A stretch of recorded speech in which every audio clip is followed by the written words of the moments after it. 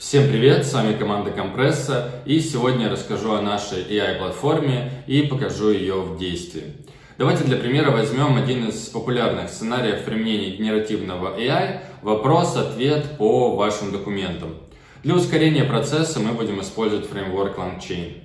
Внутри этого сценария есть несколько этапов – обработка загруженных документов и чанкинг, то есть нарезка на небольшие отрывки, векторный, он же семантический поиск, чтобы найти подходящие отрывки под запрос пользователя, реранжирование, чтобы отфильтровать только самую релевантную информацию, и, наконец, генерация ответа с помощью LLM.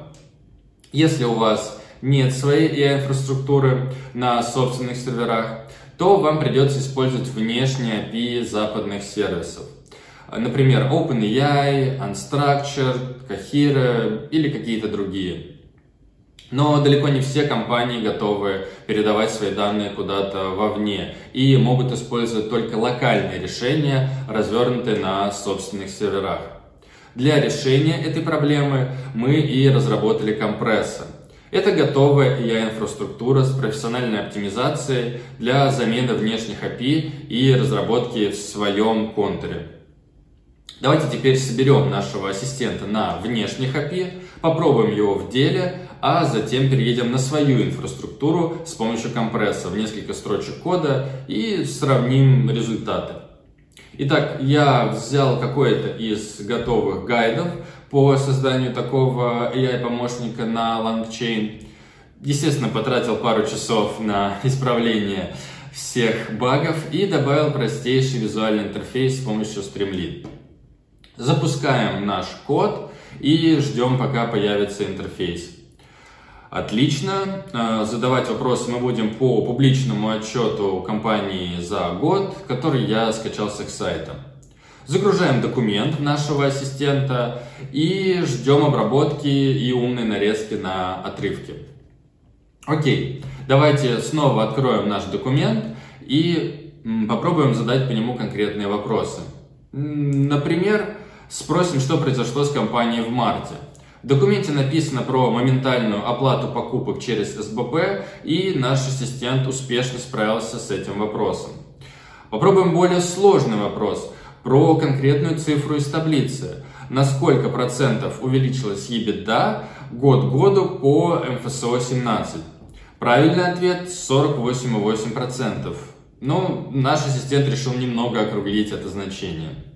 Хорошо но нам этот ассистент нужен на наших серверах, поэтому сейчас мы заменим все внешние API на модули платформы компресса. Это не потребует больших изменений. Мне достаточно будет заменить э, несколько строчек кода, и наш ассистент э, заработает локально. Для дополнительного удобства мы подготовили библиотеку для LangChain, а наша API LLM совместима с э, OpenAI.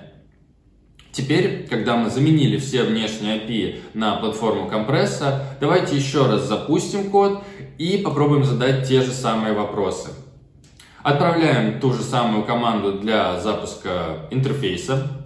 Снова загружаем тот же самый документ и ждем его обработки модулем компресса. Все прошло успешно. Поэтому мы можем повторить первый вопрос про события компании, которые про произошли в марте.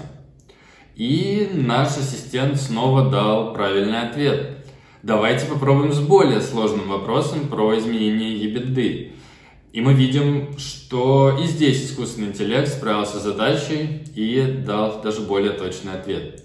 Итак, сегодня мы на практическом примере показали, как можно переехать с внешних API на собственную AI-инфраструктуру с помощью компресса и при этом не потерять в качестве. Оставьте заявку на сайте Compressa AI, чтобы обсудить внедрение платформы для вас или ваших клиентов с нашей командой экспертов.